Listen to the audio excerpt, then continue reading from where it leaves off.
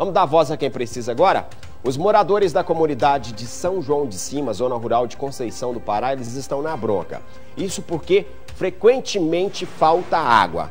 Agora, a promessa não falta não, viu gente? Promessas já foram feitas, mas até o momento nada foi cumprido. Detalhe, quando tem água, ela ainda chega suja. E os moradores também estão pedindo calçamento que foi prometido. E a gente foi lá para dar voz a esses moradores. Confere aí.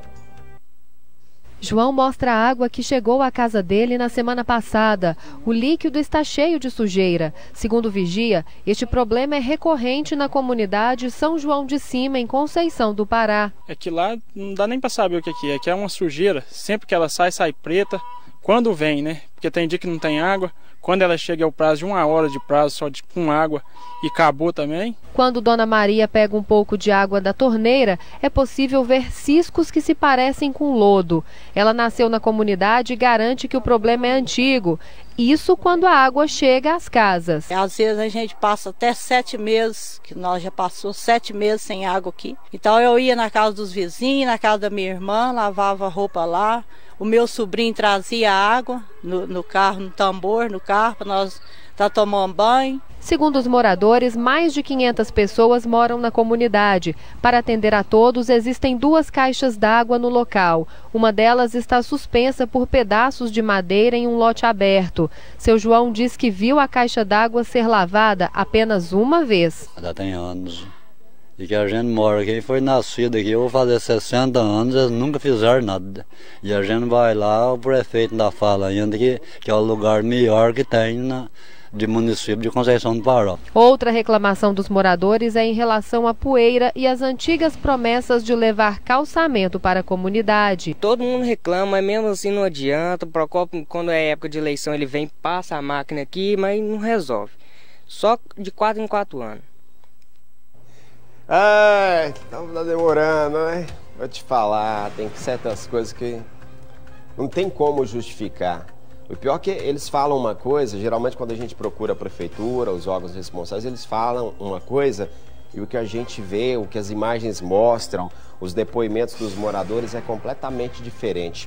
O chefe de gabinete da Prefeitura de Conceição do Pará informou que a bomba de um dos poços artesianos queimou, mas a troca já foi feita, o abastecimento está normalizado. Então a gente pede até os moradores para entrar em contato para a gente ver se realmente tem água.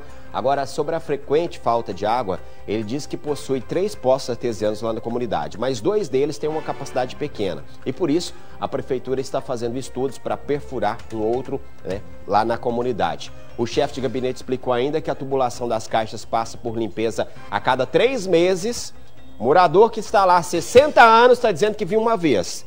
A prefeitura está dizendo que a cada três meses faz essa limpeza e que a última foi na sexta-feira. E que a prefeitura acredita que essa sujeira seja devido a essa questão da limpeza, mas que ainda irá verificar a situação novamente. Sobre o calçamento, Há dois meses, a prefeitura asfaltou uma das entradas da comunidade, a que dá acesso à onça de Pitangui, e sobre essa entrada mostrada aí na reportagem, que dá acesso à BR-423, não há previsão de calçamento, segundo a prefeitura.